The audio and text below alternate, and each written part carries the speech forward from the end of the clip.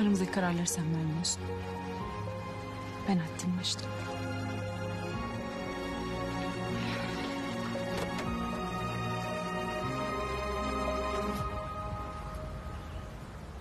Nasıl karışık bir mesajdı?